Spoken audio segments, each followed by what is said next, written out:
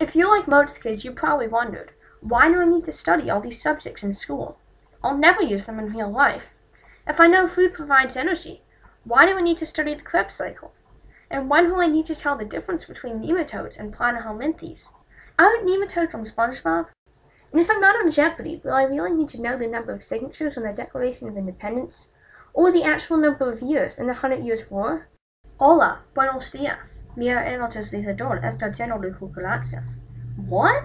Is it no habla español or no comprendo all I need to know if I'm not moving to a Spanish speaking country?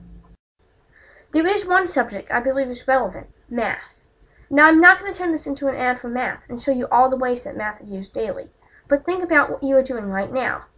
No, not eating, not listening to music, not daydreaming, although all involve math. Okay, maybe not your daydream unless you were thinking about math. I'm referring to what you're doing right now, viewing this video on the internet.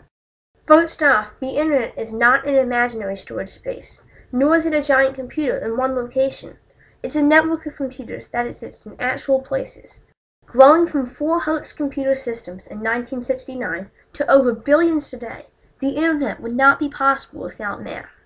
The math that powers the internet consists of probability, functions, matrices, linear algebra, and graph theory. Computers run on binary. Binary is a system that represents numbers with two digits, 0 and 1. With just these two numbers, it's possible to form numbers, words, images, videos, sounds, and music. Binary is what allows computers to communicate. The zeros and ones are called bits, and 8 bits make a byte, the language of computers. Computers communicate with each other through the internet, Thus math is the operating system of the Internet. Once data is encoded into binary, in order to travel through the Internet efficiently, the data needs to be reduced in size. This involves the use of equations that reduce the length of bit sequences. The coded information is checked for accuracy with algorithms that detect errors through the use of division remainders. Now, every piece of equipment hooked up to the Internet is given a unique ID number known as its Internet Protocol address. This number identifies where messages are to be delivered. Although we see IP addresses as numbers and decimals, a computer reads IPs in binary bits, thus allowing 2 to the 32, or about 4.3 billion possibilities.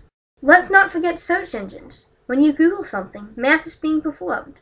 Google uses a mathematical process based on vectors and an infinite chain of matrices to generate your search results. The results appear in order of relevance, page popularity, and reputation. A big deal today, security, with the growth of the Internet, keeping personal information secure has become a major problem.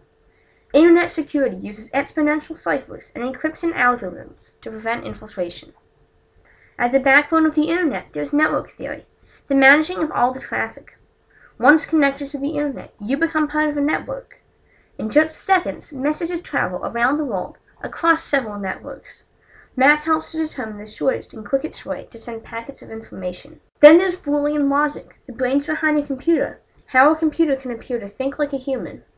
Boolean logic is like a roadmap that a computer follows to determine its next move or end result. It's based on data analysis and reasoning.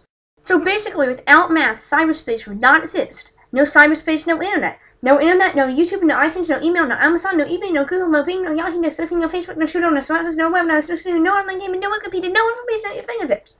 I mean, what would be left? So I guess we should thank those early mathematicians. Imagine without them, what would the world be like?